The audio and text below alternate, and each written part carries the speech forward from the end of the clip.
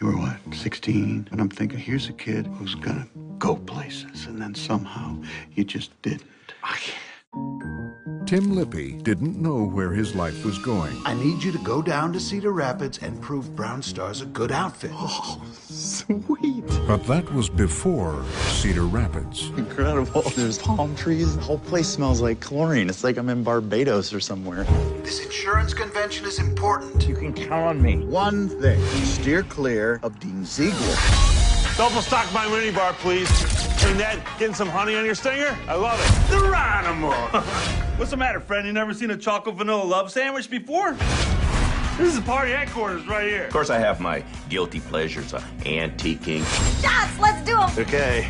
Cream cherry. Cream sherry. This one's weird. You look like R2D2. That's not what he sounds like. I'm having a perfect moment.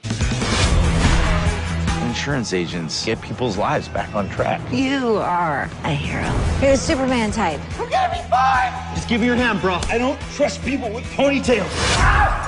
Oh, Tim, Tim. Ed Helms, If you want to party, you let me know. You got it. Party hardy.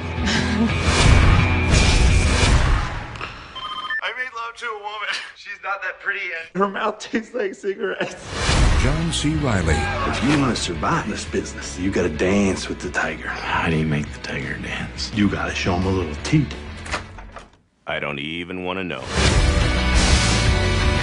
I'm so bummed out. I'm so bummed out. Where's Timble? He's practically my best friend at this point. You just met him two days ago. You're probably uninsured. No!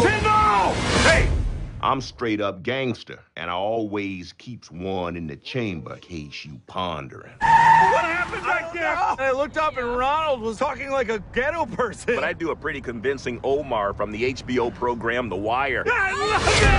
Cedar Rapids, What happened? I got beat up, got completely blotto, and befriended a prostitute.